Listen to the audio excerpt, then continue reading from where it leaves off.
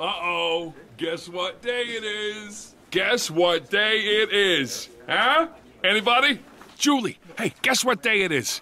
Oh, come on, I know you can hear me. Mike, Mike, Mike, Mike, Mike. What day is it, Mike? Leslie, guess what today is?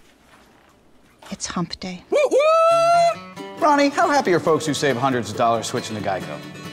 I'd say happier than a camel on Wednesday. Hump day! Get happy. Get Geico. 15 minutes could save you 15% or more.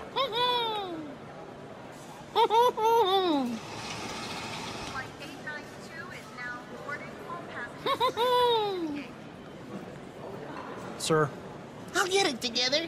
I promise.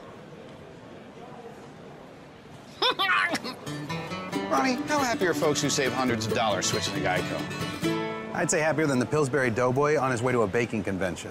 Get happy. Get Geico. 15 minutes could save you 15% or more.